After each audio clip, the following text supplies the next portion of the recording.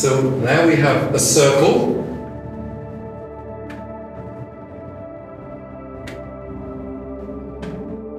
And we're going to fill that circle in with.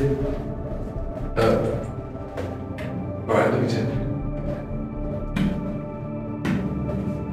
And now we've filled the circle in with yellow color, and the outside is red.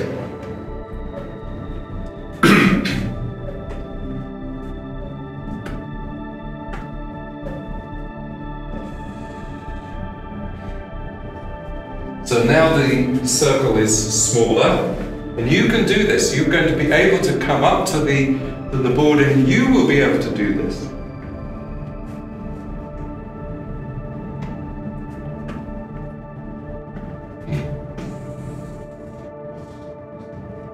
Now we have a triangle, and the triangle has three sides.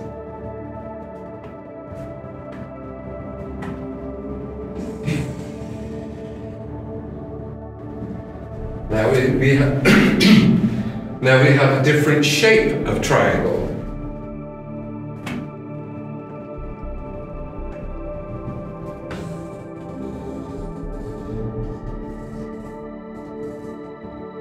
You see, you can move the whole thing, any of these shapes, you can move them around the multitabliza and make it thinner or thicker